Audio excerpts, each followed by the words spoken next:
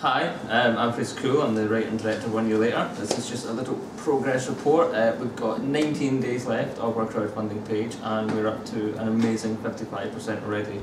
So thank you to everybody uh, who's pledged so far. I just wanted to introduce you to our uh, one of our leading actors, Mark Wood, who is playing Stephen, the older dead brother uh, in the film. Uh, he's kindly come along today all the way from London town to act and read in for the actors that are auditioning. Hi, I'm Claire Mcguire. I'm producing one year later. Uh, we are um, still, we're 55% funded, but we still need your money. We still need you to pledge and help support the film. Um, there's lots and lots of perks still to be claimed.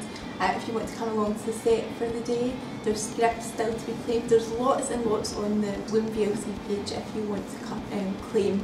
We want a great Scottish film with a great cast, great locations, and we want to make it the best short film possible and get it into festivals this year. So please, please, please follow us on Twitter, get us on Facebook and pledge your money.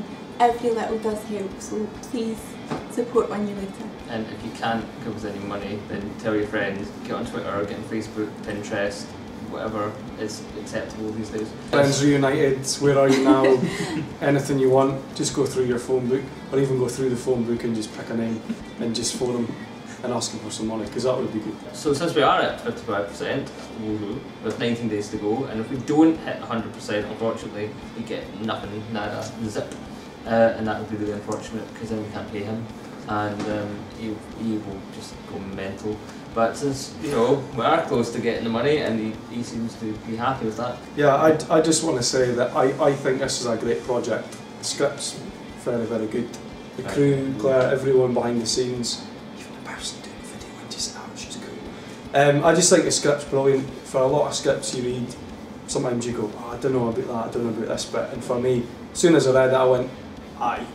And that's a good sign. So, if you can spare some dosh, go for it. If you can't, as these guys said, retweet, go on Facebook, do whatever you want to do, and just tell everybody. And as I say, you could pick a name in the phone book, but uh, maybe then I'll use your real name when you phone them.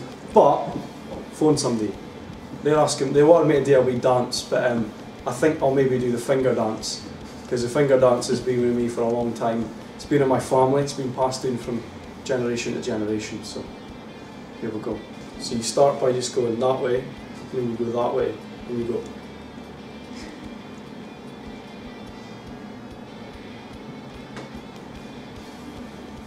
We're shooting at the end of April.